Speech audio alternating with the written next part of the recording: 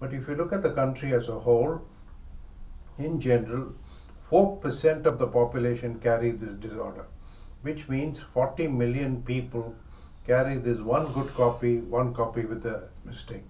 That is one out of every 25 Indian. But there are some communities in which this risk is double or even four times this. And these are these communities. Why these specific communities? It is probably related to population migration that took many, many centuries ago. In the northeast, we have another kind of hemoglobin, it's called the hemoglobin E. But these populations are now mixed and they are seen everywhere. Sickle cell, for example, is in the central part of India.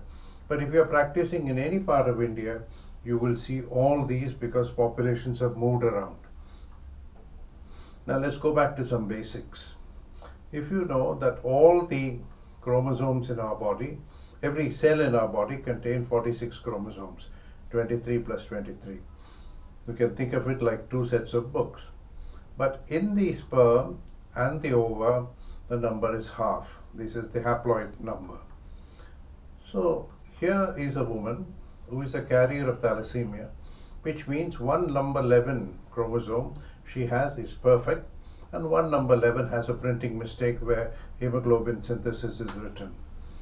Now when she is symptomless because she has got one normal copy, but when she ovulates, the ovum will contain either the good copy or the bad copy, simply because only half the number is present in the ova.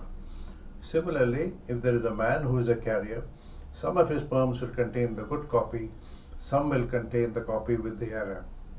Now, when two people like this marry and have children, there are only four possibilities that can occur, and these are the four possibilities.